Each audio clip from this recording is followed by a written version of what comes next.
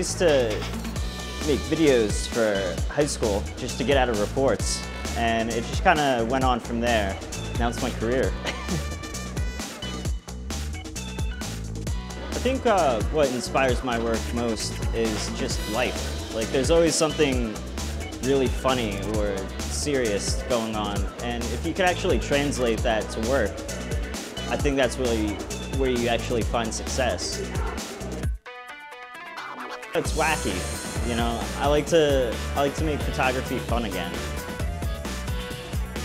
I'm definitely not like other photographers. I I actually watched a really great Quentin Tarantino interview once where he talked about his film process where he didn't want to make movies like other movies, but how he thought films should be made.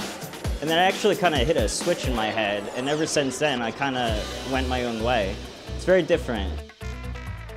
You could go on matttuckerphotography.com or facebook.com backslash Matt Tucker Photography. Feel free to internet stalk me.